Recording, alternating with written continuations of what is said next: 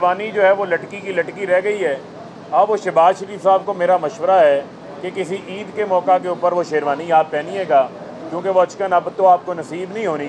बुनियादी तौर के ऊपर डिप्टी स्पीकर ने आइनी इकदाम लिया। इसी जगह पे रज़ा रबानी खड़े होकर कह के गए, जो हमें कहते रहे हैं कि आइन के आर्टिकल 69 के तहत हाउस की जो प्रोसीडिंग्स हैं, जो स्पीकर की रूलिंग है, उसको किसी जगह के ऊपर चैलेंज नहीं किया जा सकता।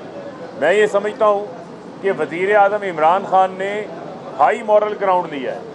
ना सिर्फ़ उन्होंने बैरूनी साजिश को नाकाम बनाया, बल्कि बैरूनी साजिश को नाकाम बनाते हुए असम्बलियाँ तहलील करके जो सदर को उन्होंने एडवाइज़ की, पाकिस्तान की आवाम में जाने का फ़ैसला किया है।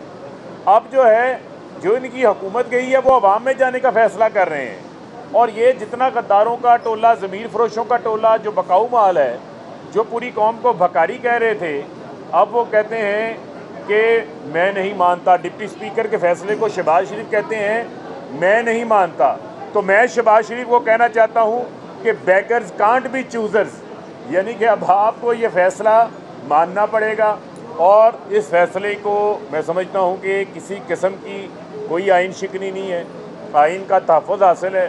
शहबाज शरीफ पूरी कौम को भिकारी कहते हैं, लेकिन ये नहीं बताते कि कौम को भिकारी कहने वाले, उनके मकसूद चिपड़ासी जो है और उनकी रमज़ान शुगर मिल के चौदह मुलाजमीन कैसे अरबपति हो जाते हैं? कौम आपको भिकारी नज़र आती है। मामला ये है, चाहे फजलरहमान हो, चाहे आसिफ अली जरदारी हो, चाहे शहबाज शरीफ हो, आज पाकिस्तान की आवाम ने अमेरिका के जो कठपुतलियाँ हैं, उनका असली चेहरा भी देखा है।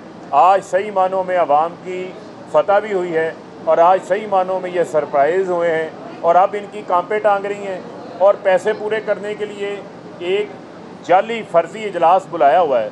और आज इस तरीके से उन मुनहरफ ज़मीन फरोशों को लेकर आ रहे थे, मुझे पत्थर का ज़माना याद आ गया, जब माजी में ग़ुलामों की बोलियाँ लगा करती थी।